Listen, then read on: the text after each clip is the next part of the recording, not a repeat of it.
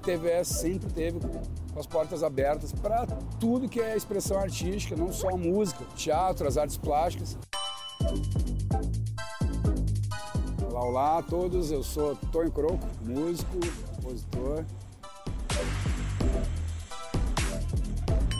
Minha relação com a TVE é, é a mesma relação com a música. Quando eu me descobri aluno de música, é, no mesmo dia eu passei a ter é, interesse por rádios diferentes do que todo mundo ouvia, pela programação diferente do que os outros canais ofereciam. Nessa época a, a televisão era uma, uma, coisa de adulto. Então era, era o que o pai e a mãe é, viam, né? Eu me lembro de de tarde ou de manhã ver a TVE.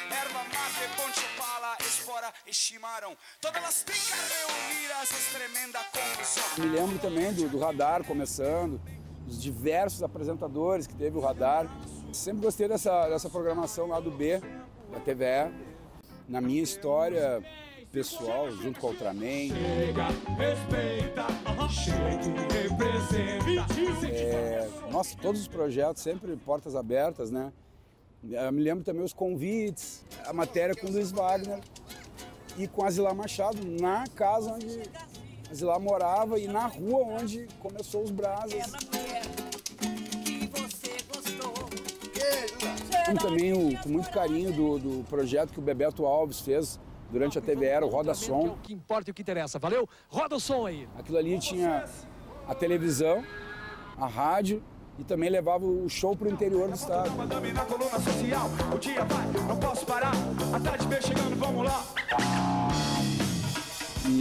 Então, vida longa, né, para para esse DNA que a, que a TVE tem e para todas as artes, acolher uh, as plásticas, as cênicas, musicais. Então tem como dar uma palhinha de alguma coisa aí pro radar? A Viviane é a sua namorada,